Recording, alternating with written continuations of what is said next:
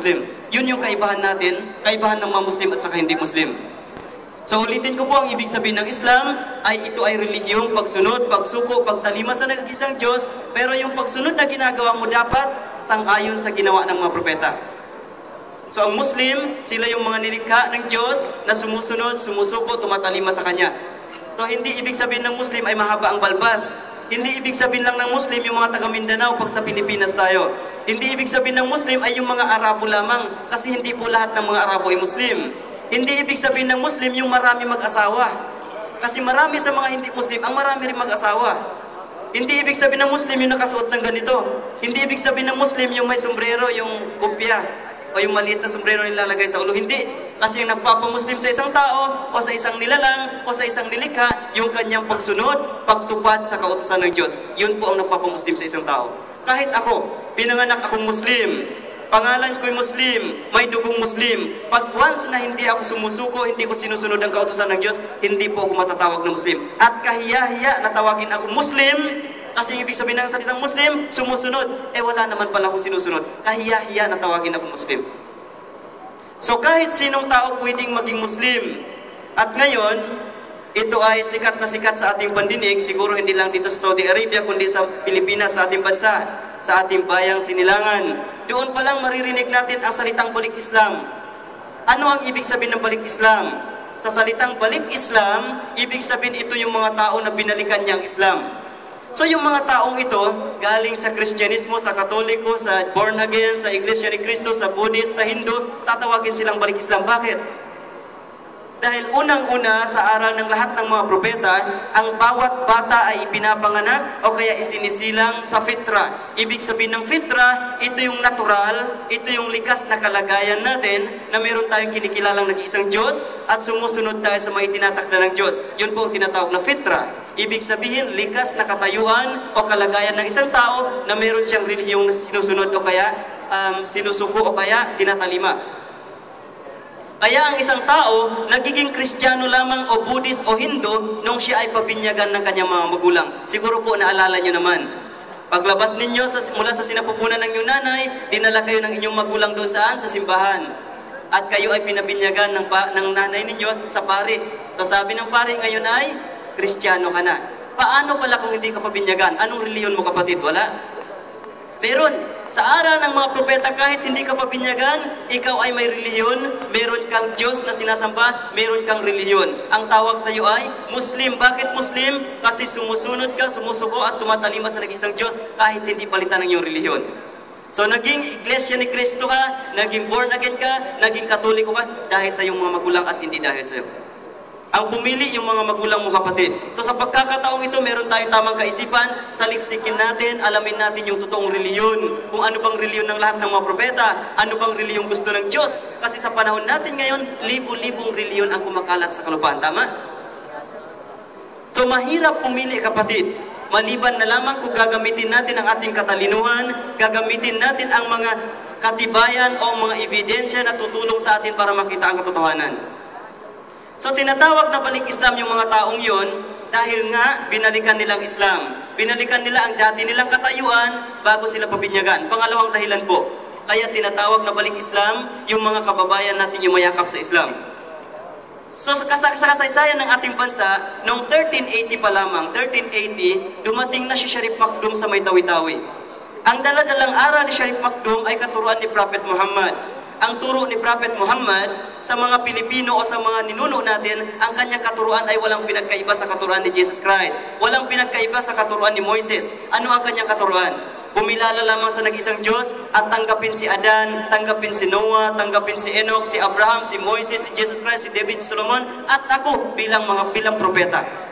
Maniwala kayo sa amin ng mga propeta, yun ang katuruan ni Prophet Muhammad, yun din ang tinuro ni Sharif Makdum. So tinanggap ito ng ating mga ninuno sa may tawi-tawi nang walang pilitan. Nang walang digmaang nangyayari. Kaya nung namatay si Sharif Pakdum, naging Muslim ang buong tawi-tawi. At dumating naman si Sharif Abu Bakar sa may sulo at pinagpatuloy niya ang gawain ni Sharif Pakdum. Kaya kung tatanungin natin ang kasaysayan, saan nangyari o naganap ang kauna-unang sultanate sa buong Pilipinas, isasagot sa iyo, yung sultanate of Sulu. So nung namatay Sheikh Abu Bakar, naging Muslim ang buong sulod at ang basilan at ang ilang bahagi ng Zamboanga. So nung namatay siya, dumating naman Sharif Kabungsuan, kilala niyo yan. Pero hindi natin nakita. Nababasa lang natin sa kasaysayan. Dumating si Sharif Kabungsuan sa may Maguindanao na ngayon ay Cotabato. Ganon din ang kanyang ginawa. Ipinalaganap o kaya isinabuhay yung pangangaral patungkol sa reliyong Islam. Kaya ang mga Muslim sa may Mindanao, hindi mo man basahan ng Biblia, alam na alam nila yung buhay ni Moises, alam na alam nila yung buhay ni Jesus Christ, alam na alam nila yung buhay ni Prophet Noah, ni Prophet David, ni Prophet Solomon. Bakit? Kasi yan ang pinapangaral ng mga Sharif noong panahong iyon patungkol sa lahat ng mga propeta, patungkol sa pagmamahal sa mga propeta, kung paano sumunod sa kanila para makuha ang buhay na walang hanggan. So nung nawala si Sharif Kabungsuan, naging Muslim ang buong Mindanao hanggang sa may dumating na sampung dato galing Borneo, Malaysia. Kagaya ni Dato Puti, kilala natin yan, si Dato Puti. Si Dato Sumakwil, si Dato Sikatuna, si Dato Paduhinok, sampu sila. Dumating sila sa may Bisaya, sa may Iloilo. Si Waragan Iloilo na ang pangalan ngayon ay San Joaquin Iloilo. So yung mga taong ito galing Borneo, mga Muslim din. So nung pagdating nila, napakaganda, welcome na welcome sila ng ating mga ninuno. Kaya tumira sila sa may Iloilo, nagtayo sila ng Muslim community. Hanggang sa dumating sila sa may Luzon. So noong panahon na yan, wala pong Kristiyano sa buong Pilipinas. At hindi pa Pilipinas ang pangalan ng ating bansa. Hindi ko lang alam kung alam ninyo. Ano pong unang pangalan ng Pilipinas? Maharlika. Maharlika. Kaya sa kanta, Ako ay Pilipino, dugo'y maharlika. Ang ating dugo ay maharlika. Mataas ang ating antas kung ikumpara sa iba. So ngayon, kung wala pang Kristiyano nung panahon na yon, eh ang katanungan ngayon ito, bakit mas marami ang Kristiyano sa Pilipinas kaysa sa mga Muslim? Anong nangyari? So sa kanta ni Yoyoy Villame, tungkol sa kasaysayan ng ating bansa, sabi niya, noong March 16, 1521, doon pa lang dumating ang mga Kastila, dayuhang Kastila. So imagine, 1380 hanggang 1521, napakahaba ng agwat. Ilang taon ang pagitan. Naging Muslim muna ang ating mga ninuno sa bansang Pilipinas bago dumating ang mga Kastila na daladalang reliyon ay, ano, Kristyanismo. Nung dumating si Magellan sa may, sa may Cebu, tinanggap ni Raha, umabon ang daladalang relihiyon ni Magellan. At tinanggap niya ito at nagpa-convert siya o kaya nagpa, nagpabinyag siya sa pagiging Kristyanismo. Doon pa lang nagsimulang nagkaroon ng Kristyan sa buong Pilipinas, saan? Sa Cebu. At nung pumunta si Magellan sa Mactan, sabi niya, to Christianize them everyone. Kasi hindi mga Kristiyanong nandun. Hindi tinanggap nila Pulapo kaya nagkaroon ng malaking digmaan. Noong panahon ng Sharif, meron bang digmaang nangyari? Wala. Kasi tinanggap ng ating mga ninuno ang wala sa pilitan. Pero nung panahon ni Magellan, hindi tinanggap ng mga Pilipino nagkaroon ng digmaan at namatay si Magellan. Nung pag-uwi ng natitirang tauhan ni Magellan, dumaan sila sa may Palawan. May nakita silang bangka, tinanong nila yung nasa bangka.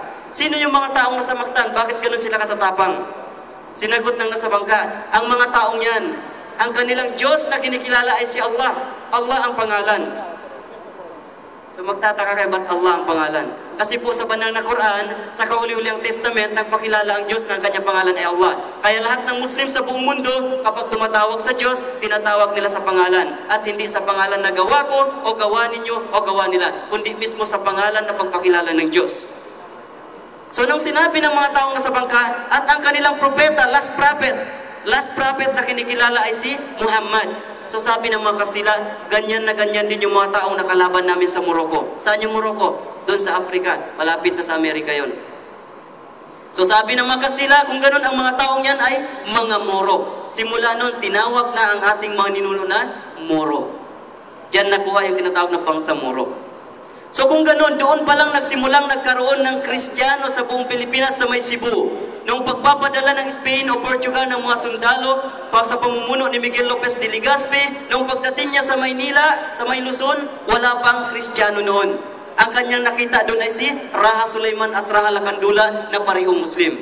So pinalaganap niya, pinangaral niya ang Kristyanismo, hindi tinanggap ng ating mga ninuno, kaya nagkaroon ng malaking digmaan sa Maynila. Si Raha Sulaiman, Raha Lakandula, laban sa mga dayuhang Kastila. So hanggang napatay ang dalawang Raha at umatras ang ilang mga ninuno natin sa may Rizal, kaya kung kayo po ay taga Rizal, may lugar doon na ang pangalan ay Morong Rizal. Bakit Morong Rizal? Kasi noon ang ating mga ninuno ay tinawag na na Moro. At meron ding lugar na ang pangalan ay Binangunan Rizal kasi ang ating mga ninuno ay nagtayo ulit ng panibagong himpilan o puwersa laban sa mga Kastila. Pero hindi po nagwagi ang ating mga ninuno kasi nga itak laban sa baril, kanyon laban sa sibat. Anong laban ng ating mga ninuno? So simula, nagsimula noon na may tumanggap ng ng uh, aral o kaya reliyong daladala ng mga Kastila. Kasi sabi ng mga Kastila, kung ayaw mo sa krus, Chris ang sayo. Kung ayaw mo sa krus, Chris, papatayin ka. Kaya ang ating mga nino, tinatwa ang Islam at tinanggap ang Kristyanismo. Doon pa lang nagsimulang nagkaroon ng Kristiyano sa buong Luzon. Kaya ngayon kung titingnan mo, sa Luzon at Bisaya, dyan ang may maraming Kristiyano. Pagdating sa Mindanao, medyo mas marami-rami ang Muslim. So bakit? Kasi po, doon lamang nagtayo ng mga simbahan, nagtayo ng mga puwersa ang mga Kastila. So ang punto natin, hindi para lamang uh, alamin, kundi ang mahalaga dito ay nalaman natin na mas nauna pa palang Muslim ang ating ninuno kaysa sa naging Kristiyano. Kaya pag nag-Muslim ka, nag-Muslim sila, nag-Muslim kayo next month, next week, ang tawag sa inyo ay balik Islam o kaya revert. Nakuha natin? Hindi kayo nagpapalit ng reliyon, hindi kayo nagpabinyag sa Islam. So wala rin karapatan ang sino man magsabi, bro, ba't ka nagpalit ng reliyon? Bro, ba't ka nagpabinyag sa Islam? Kasi wala pong binyagan sa Islam. At of course, hindi ka nagpalit ng reliyon kasi binalikan mo lang ang reliyon mo nung ikaw ay nasa sinapupunan pa yung nanay o bago ikaw ay binyagan at binalikan mo lang ang reliyon ng ating mga ninuno. Nakakalungkot isipin kapatid, ang ating mga ninuno, binuhos nila ang kanilang puwersa. Kahit kapalit ay buhay nila para lamang ipagtanggol ang buong Pilipinas. Para lamang ipagtanggol ang kanilang reliyon. Ngayon, dumating ang mga Kastila, pinangre-rape ang ating mga kamag-anak na kababaihan, pinangpapatay ang ating mga lolo't lola, at ngayon mas pinamahal pa natin ang kanilang daladalang reliyon. Napakalungkot. At mahigit pa dyan, marami pang mga tao na kung saan pinagbibintangan ang mga Muslim ng ganito, ng ganito, ng ganito. Sa kabila nyon ay ganun na lamang ang kanilang hirap na dinanas. So nung pagpapatuloy ng mga Kastila, nung kanilang paninirahan sa Pilipinas, meron bang kapayapaan o wala? Wala pong kapayapaan. Sa kabila niyan, mga praile na ang namumuno sa, namumuno sa may at Visayas. Tingnan niyo na lamang, ang ating mga ninuno o mga bayani, si Andres Bonifacio, si Emilio Aguinaldo, si Dr. Jose Rizal, laban sa mga Kastila, walang kapayapaan. Kailan lang nakuha ang kapayapaan? Noong Independence Day. Nung iniwan na tayo ng mga praile na yon. So nakuha natin, kaya nga ang Islam, pagsunod, pagsuko, pagtalima sa nag-isang Diyos, kung lahat ng tao ay sumusunod, sumusuko sa nag-isang Diyos, nangangahulugan din ng peace o kapayapaan. Bakit kapayapaan? Kasi kung lahat ay may takot sa Diyos, sumusunod sa Diyos, sumusuko sa Diyos, at pinaiiral ang batas ng Diyos, makukuha natin ang kapayapaan. Pero ngayon sa mundo napakagulo. Bakit napakagulo? Kasi batas ng tao, pinapalit sa batas ng Diyos. Mas minamahal natin yung batas ng mga tao, mas minamahal natin ang mga artista kaysa sa mga propeta. Ito na lamang po halimbawa. Ang pagbati ng lahat ng mga propeta sa buo, sa, sa lahat ng mga propeta, ang kanilang pagbating ginagamit, ang kapayapaan ay sumainyo. Sa Arabic, very good. Sa Arabic, Assalamu alaikum. Ang kapayapaan ay sumainyo. Ito po, lahat ng mga propeta ginagamit nilang pagbati, ang kapayapaan ay sumainyo. Pero ngayon, ayaw natin sa propeta. Sa Pilipinas pa lang, kapag hindi Muslim, babatiin ng Muslim, pare, Assalamualaikum. Ay sasagot, malay ko sa'yo. Bakit malay ko sa'yo? Ayaw mo sa propeta. Mas gusto mo pa na good morning, good afternoon, good evening. Yung mga tao na nagpapairal ng aral ng mga propeta, sinasabihan mo, malay ko sa'yo. Yung mga propeta, mahaba ang balbas. Pati si Jesus Christ, mahaba ang balbas. Ngayon, pag makakita ka ng mahaba ang balbas, sasabihin mo, eh, terorista yan. O kaya mukhang kambing. Mas gusto mo yung mukha kang artista, ayaw mo ng mukhang propeta. Nakuha natin? Ang mga propeta, kapag sila'y nagdadasal, nagpa, sumusubsub sa lupa, nagpapatira pa sa lupa. Mismo si Jesus Christ, kasi alam kong mga Kristiyano, mahal na mahal nila si Jesus Christ. So mismo si Jesus Christ kapag siya ay nananalangin, nagpapatira pa sa lupa. Ang mga Muslim nagpapatira pa sa lupa dahil gusto nilang mapatunayan yung kanilang pagmamahal kay Jesus Christ. Hindi lamang sa salita. Kasi sasabihin natin, hindi totoo ang yung sinasabi o pagkiklaim na mahal mong isang tao na hindi mo sinusunod o hindi mo pinapakita ang pagmamahal. Kung asawa mo nga, sasabihin mo, honey, mahal na mahal kita. Pero hindi mo pinatutunayan, sasabihin niya, sinungaling ka, loko-loko ka. So ganun din ang mga propeta, kung mahal na mahal natin sila, sundin natin sila, gagawin natin silang modelo. So si Jesus Christ nagpatira pa sa lupa, si Moises, si Abraham, lahat. Pati si Prophet Muhammad nagpatira pa sa lupa. Kaya ang mga Muslim pag nagdadasal, punta kayo dyan sa may masjid, sa moske, silip-silip kayo pag may time, makikita ninyo ang mga Muslim ay nagpapatira pa sa lupa. Kasi ganun nag nagdadasal ang mga propeta. Ang mga propeta pag nagdadasal, hindi nagkakantahan, hindi nagbaband, nagigitara, no. Pero ngayon, kapag nagpapatira pa yung tao bilang pagsunod sa mga propeta, sasabihin mo, nagtumutuwad. Ang mga propeta nag-aayuno sa buwan, nag-aayuno sila. Pati si Prophet Muhammad nag-aayuno sa buwan ng Ramadan. Ito yung sinusunod ng mga Muslim. Si Jesus Christ nag-aayuno ng 40 days and 40 nights. Ngayon, pag may nag-aayuno, sasabihin mo, huwag, pampatay sa sarili yan. At si Moises, nung siya ay pumapasok sa kanyang lugar na sinasambahan o dinadalanginan, hinuhubad niya ang kanyang tsinelas. Hindi ko alam kung sino mga tao sumusunod sa ganitong paraan. Muslim. Ang Muslim, pag pumapasok sa moske, iniiwan ang kanilang tsinelas sa labas. Gaano pa man kamahal ang kanyang tsinelas, iniiwan sa labas. At of course, pinakamahalagang aral, mula pa kay Adan, hanggang kay Enoch, kay Noah, kay Abraham, kay Moses, Isaac, Jacob, Ismael, Solomon, David, John the Baptist, Jesus Christ, Muhammad, ang kanilang pinakamahalagang aral po ay sumamba lamang sa nag-isang Diyos. Kaya ngayong gabi, hinihikayat ko kayong mga Pilipino, mga kababayan ko. Kasi of course, Pilipino ako, Pilipino rin kayo. Kayo po yung pinakamalapit na tao sa aking puso. Kaya hinihikayat ko kayo ngayon na magbalik loob tayo. Balikan natin yung aral na hawak-hawak ng mga propeta na kapag sila ay tatanungin kung anong bagay ang magiging dahilan ng ikapapasok natin sa paraiso. Alam ko lahat naman kayo gusto niyo ng paraiso. Ako ganun din.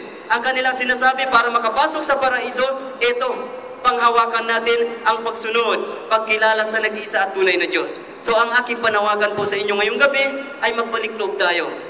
Manaksi tayo o kaya sumaksi tayo na meron lamang nag-iisang Diyos at tanggapin natin lahat ng mga propeta. Ito po ang aral ng Islam. Kaya si Prophet Muhammad sallallahu alaihi wasallam, sumakanya naman kapayan ay nagsabi, ang sino mang tao ang kanyang huling sinabi bago siya abutan ng kamatayan. Nagbalik loob siya. Ang kanyang huling sinabi, ang kanyang binitiwang salita, ay nagsabi siya na walang ibang Diyos na karapat dapat sa may maliban sa nag-isa at tunay na Diyos na si Allah at si Muhammad ay huling propeta o huling sugo ng Diyos. Ang taong ito pag inabutan ng kamayatayan, makakapasok siya ng paraiso. So ang aking panawagan sa gabing ito ay sama-sama po tayo na sumaksi na meron lamang nag-iisang Diyos at tumanggap tayo na si Muhammad ay huling propeta. Bakit huling propeta? Kasi merong mga nauna. At makikilala, makikita ninyo sa Quran, yung Quran na hawak-hawak ng mga Muslim. Kasi si Prophet Muhammad ay pinakilala sa inyo, sa atin na mayroong mga naunang propeta. So sa Quran, mas maraming beses pa nabanggit yung pangalan ni Moises kaysa sa pangalan ni Muhammad. Mas maraming beses pa nabanggit yung pangalan ni Jesus Christ. Mas sikat pa yung dalawa kaysa sa kay Muhammad. So ganito niya pinakikilala yung mga naunang propeta. So si Muhammad, bakit kailangan natin siyang tanggapin bilang propeta? Kasi mula pa sa panahon ni Moises, sinasabi na ni Moises sa lumang tipan na merong darating na propeta na katulad niya. Noong panahon naman ni Jesus Christ, sinabi niya rin na merong darating na ibang mga aliw o ibang comforter maliban sa kanya. At hindi ito magdarating maliban na lamang na siya aalis. So nung panahon ni Muhammad, pinatutunayan niya na siya ay propeta. So ang mga propeta pinatutunayan o kaya magiging kapanipaniwala na sila ay propeta sa pamamagitan ng paggawa nila ng mga himala. Na kung saan ang himalang ito, ito ang magpapatunay na sila ay galing sa Diyos, na sila ay pinili ng Diyos para magiging guide o para magiging, magiging gabay sa mga tao. So si Prophet Muhammad, kung anong katibayan, kung anong himala meron sa mga naunang propeta, si Prophet Muhammad ganun din. Kung si Prophet Abraham ay merong kasulatan, yung Scroll of Abraham. Kung si Prophet Moses ay merong kasulatan, yung Ten Commandments. Kung si David, merong kasulatan yung Salmo ni David. Kung si Jesus Christ, merong kasulatan, yun yung Ebanghelyo ni Heso Kristo. Si Muhammad meron din. Yun yung Quran. At sa Quran, sinasabi dito, sinasabi patungkol kay Prophet Muhammad, "Wa ma arsalnaka illa kaffatan lin-nasi bashira wa nadira." Ikaw ay hindi namin sinuko maliban sa lahat-lahat ng mga tao. Hindi katulad kay Jesus Christ, sinabi niya, "Ako hindi isinugo kundi sa nawawalang tupa ng bayan ng Israel." Siya ay isinugo sa bayan lamang ng Israel. Si Moises ganun din. Lahat ng mga propeta ay sinusugo sa particular o ka-espesyal na nasyon lamang o mga tao. Pero si Prophet Muhammad, siya ay isinugo sa lahat ng mga tao. Bakit? Kasi siya yung last at saka yung pinakahuli, pinakahuli sa mga silyo, pinakahuli sa mga propeta. Wala nang propetang darating pagkatapos niya. Kasi sa panahon niya, kinumpleto ng reliyon. Kaya sabi ng Diyos sa banal na Quran, Al-yawma akmaltu lakum dinakum wa atmamtu alaykum ni'mati wa raditu lakum al-islam. Sa araw na ito, ay ginawa kong ganap ang aking biyaya ang aking blessing at ginawa kong kumpleto ang inyong relihiyon at pinili ko ang Islam bilang inyong relihiyon o pamamaraan ng buhay. Islam! Na kung saan ang relihiyong Islam, ang pangalang Islam ay mismo galing sa Diyos at hindi galing sa mga Muslim. Ang salitang Islam na nangangahulugan, ang relihiyong kinalugdan ng Diyos para sa inyo ay yung pagsuko, pagtalima sa nag-iisang Diyos. So ito po ang Islam. So makikita din natin ang Islam ay complete way of life kasi bawat alituntunin, bawat panuntunan sa buhay, ito ay saklaw ng Islam. Walang gawain ng isang tao sa mundong ito, maliban na lamang ang Islam, ay binigyan niya ng pamamaraan ayon sa itinuro ng Diyos at kalugod-lugod sa Diyos. So maraming maraming salamat po sa inyong pagbigay ng oras sa akin. So pasensya na kayo at medyo napahaba natin, siguro limang oras na yun. At